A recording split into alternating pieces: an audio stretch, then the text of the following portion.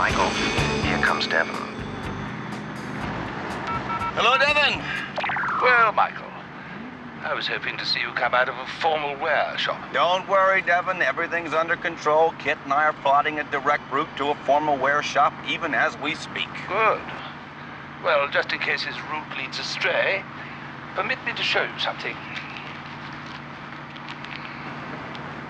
What is that? That is what you will be wearing if you fail to find a tuxedo of your own for the annual Christmas banquet. Okay.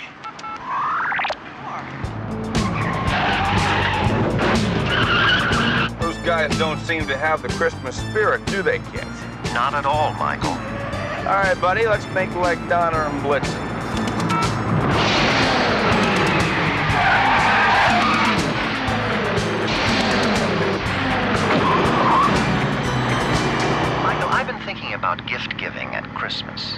Yeah, it's a great tradition, KITT. Let's not forget about gift getting. The joy of giving isn't anything without someone doing the getting. It's a tough job, but somebody's got to do it. Frankly, I think the whole thing's overdone. The importance of a gift is the thought behind it, not the gift itself. I couldn't agree more. Then what one gets doesn't really matter, does it? Well, that depends. I mean, try arguing that point with a six-year-old sitting on Santa's knee. April, season's greetings. Well, thank you, Michael. Same to you. I hope you and KITT are headed back to the foundation. Oh, we're heading in that direction. You bet. Michael, just what are you up to? Nothing. Well, not much, at least. I ran into a gypsy kid who's a witness to a robbery. He and his sister, His sister? Yeah, I should have known.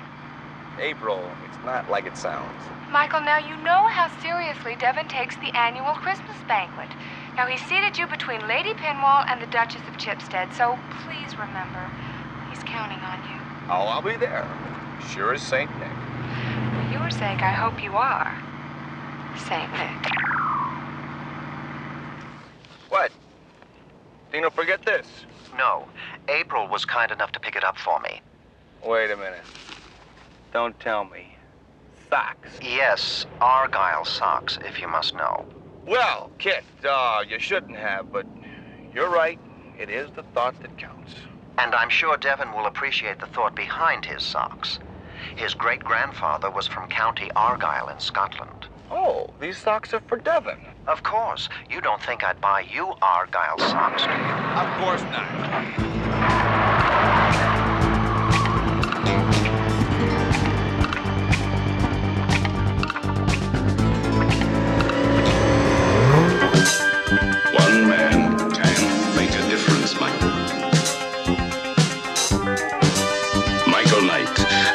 Crusader in a dangerous world. The world of the Knight Rider.